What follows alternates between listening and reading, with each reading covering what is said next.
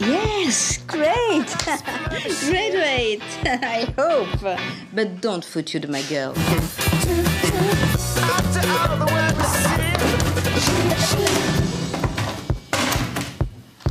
Bonjour les adolescents, je suis votre nouveau professeur d'histoire car j'ai réussi mon CAPES. Aujourd'hui, on invente un exercice, on le fait, on le corrige, tout seul, et en silence. Hop, c'est parti.